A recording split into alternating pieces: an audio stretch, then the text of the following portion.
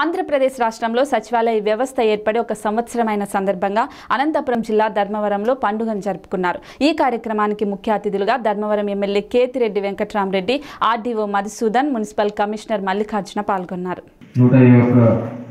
జయంతి సందర్భంగా ఈరోజు ఏర్పాటు చేసినటువంటి ఈ కార్యక్రమంలో ఆయన కళలకు సాకారం దిశగా ప్రజలకు డీసెంట్రలైజ్ చేసే వారికి అత్యున్నత సేవలు కరప్టెడ్ ఫ్రీగా అందించాలని చెప్పేసి మొదలుపెట్టినటువంటి ఈ సచివాలయం అనే సిస్టమ్ ఎందుకంటే ఈ సిస్టమ్ దగ్గర దగ్గర దగ్గర ఇప్పుడు ఫైవ్ ఫార్టీ త్రీ సర్వీసెస్ అందిస్తున్నాం రియలీ థ్యాంక్ఫుల్ టు ద ముఖ్యమంత్రి గారికి.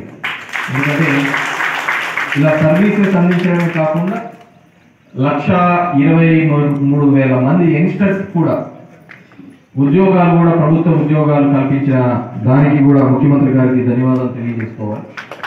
అదేవిధంగా దగ్గర దగ్గర ఒక మూడు లక్షల మంది వాలంటీర్స్ ప్రజలకు సేవ చేయడానికి ఒక వాలంటీర్గా ముందుకు వచ్చి చేస్తున్నారు వాళ్ళందరికీ కూడా. ఎందుకంటే ప్రభుత్వ ఉద్యోగం కానీ పబ్లిక్ సర్వీసెస్లో మీరున్నా కానీ పబ్లిక్ రిప్రజెంటేటివ్స్గా మేమున్నా కానీ ఎండ్ ఆఫ్ ది డే మనం ఎంతమందికి న్యాయం చేస్తున్నాము మన దగ్గరికి వచ్చిపోయిన వాళ్ళలో ఎంతమంది సాటిస్ఫై అవుతున్నారు అనేది మనం చూసుకోవచ్చు కొన్ని ఫైనాన్షియల్ బర్డన్స్ ఉండేవి కాకుండా రెగ్యులర్ సర్వీసెస్ కోసం ఆఫీసులకు ప్రభుత్వంలో పనిచేయడం ఒక అదృష్టం.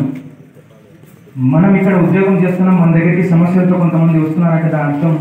మనం ఏదో ఒక ఉన్నత స్థానంలో ఉన్నామని వాళ్ళకి అవి సమస్య సాల్వ్ చేసుకునే స్తోమత లేక మన దగ్గరికి వస్తున్నారని కానీ లేదంటే వాళ్ళు చాలా ఇబ్బందులతో మనం వాళ్ళని చులకనగా చూడాల్సిన పనితీరు మార్చుకొని మనం వాళ్ళకి సేవ చేసే ఒక అదృష్టాన్ని కల్పించింది ప్రభుత్వం అన్నట్టు మనం పనిచేయడం ప్రతి ఒక్కరి బాధ్యతగా స్వీకరించాలి.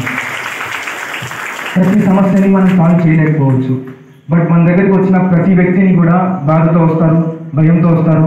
ఏదో ఒక విషయంలో ఏదో ఒక సర్వీస్ పొందాలని పెన్షన్ ఆగిపోయిందని రేషన్ కార్డు రాలేదని ఇంకా ఏదేదో క్యాస్ట్ సర్టిఫికేట్ అని ఫ్యామిలీ సర్టిఫికేట్ అని చాలా సర్వీసెస్ పొందాలని వాళ్ళు దానివల్ల వాళ్ళ జీవనోపాధి ఏదో విధంగా కోల్పోతున్నామని మన దగ్గరికి వస్తుంటారు. అలా వచ్చిన